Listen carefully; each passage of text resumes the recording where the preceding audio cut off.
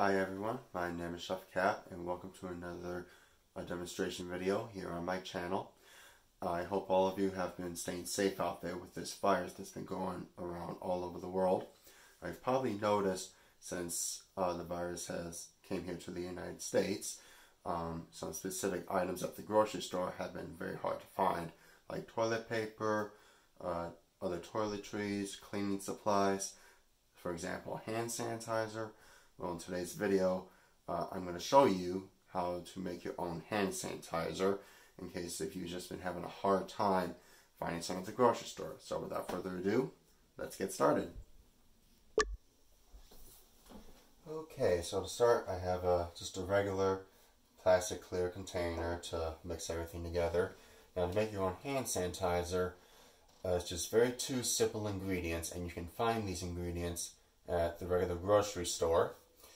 And that starts with two thirds cup of rubbing alcohol.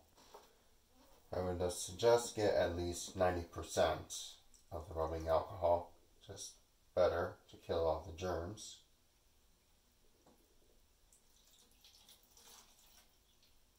There we are.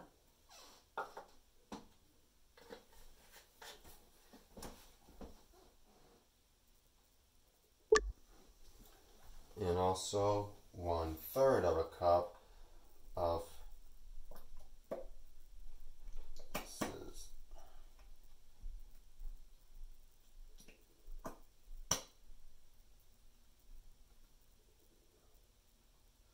this is aloe vera. This is the same stuff you would buy as where all the sunscreen is at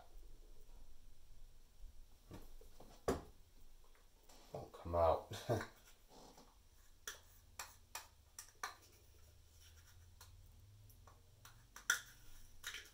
we. Just mix that all together. And there's also an optional third ingredient if you want to add to it, but it's entirely up to you. You can put any essential oil or extract in it.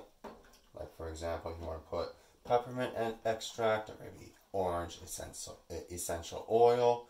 Just anything you want to do just to give your hands, to make your hands smell just a little more fresh, you know.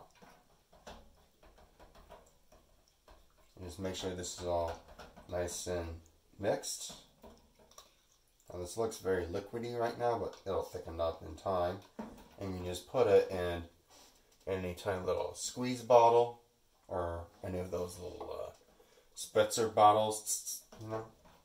And that's it. That's all you gotta do. Make your own hand sanitizer.